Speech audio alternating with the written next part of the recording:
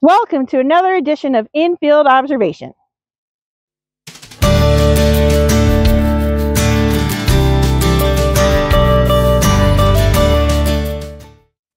So, for the past couple weeks, there has been severe storms going throughout the state of Nebraska, and with that, we have that dreaded hail that comes along with it.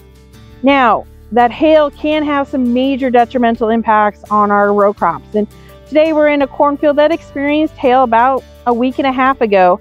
And as we take a look at the field, we're able to see the plants are shooting off new leaves, they are growing. But we still see that injury from the hail and things that we need to be concerned about. So as we look at these plants, we can look at the stalks themselves and we're seeing these dark brown spots on them. That's actually bruising from those hailstones. When the hail hit it, it is a, it's bruising the plant. Well, that provides a wonderful opportunity for plant pathogens to get in there. So these are going to be plants we're going to be concerned about later in the growing season to develop stalk rots because of those injuries that have occurred.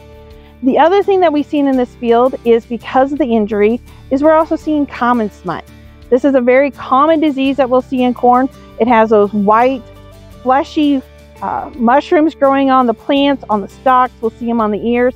That as they mature, they'll turn into that big mass of black spores that just don't seem very appealing. Um, those are very common to see, but once again, we'll see that very frequently after a hail event because we have injury to the plant and is an opportunity for the spores to move in there. So just because your hail insurance adjusters come to your field you've seen and maybe are predicting what your yield loss is, we still need to monitor those fields throughout the rest of the growing season to assure that we don't run into late season issues that can affect our standability and our ability to harvest that crop later on.